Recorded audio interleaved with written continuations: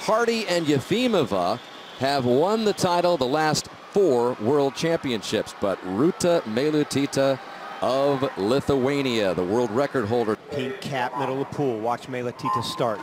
Boom, she gets off the block so well. 0.62, not quite as quick as she was in the semifinals, and the rest of the swimmers were really good as well, so that could hurt her. Atkinson right there in front of you is my dark horse in this. She's got a lot of front half speed. Oh, yeah, Atkinson from Jamaica is second from the bottom and looking pretty good.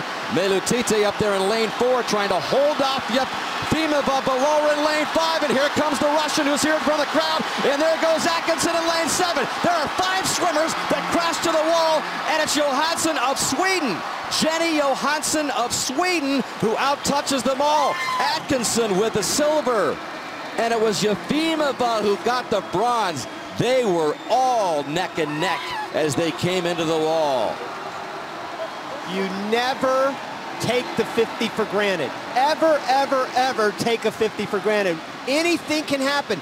I was going to say before the race, it was the difference between the haves and have-nots. Not this one, a second separated. You can see Meilutytė have that great start, but not as quick as she's been in the past.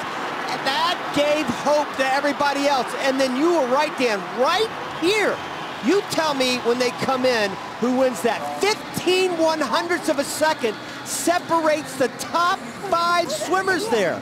But in the end, it was Johansson by six one hundredths of a second over Atkinson right underneath her. Unbelievable race. And then it's like, you just can't believe it. Did that just happen?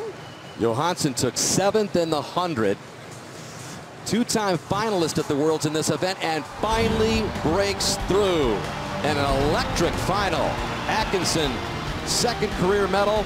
Actually, Johansson picks up the first ever medal in a breaststroke event for Sweden. So history for Johansson with a beautiful touch as we go underneath the water again to show you how close it was.